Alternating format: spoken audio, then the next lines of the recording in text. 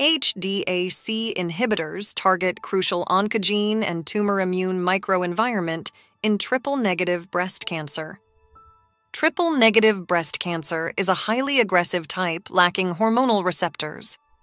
Traditional treatments like chemo and radiotherapy often fail in advanced cases, highlighting the need for new targets.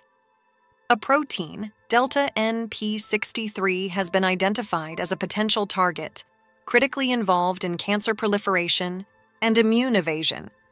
Research led by Dr. Rumela Chakrabarti and Dr. Ukshin Kim has revealed delta NP63's role in influencing myeloid derived suppressor cell survival and metabolism, offering a promising target for triple negative breast cancer therapies. Delta NP63 is crucial in triple negative breast cancer tumor progression and metastasis.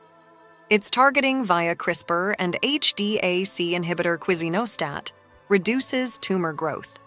Delta NP63 aids myeloid derived suppressor cell survival through TNF alpha altering immune cells. Dr. Chakrabarti's research indicates delta NP63 reprograms myeloid derived suppressor cells' immunosuppressive functions in triple negative breast cancer, underscoring its potential in resistant cases.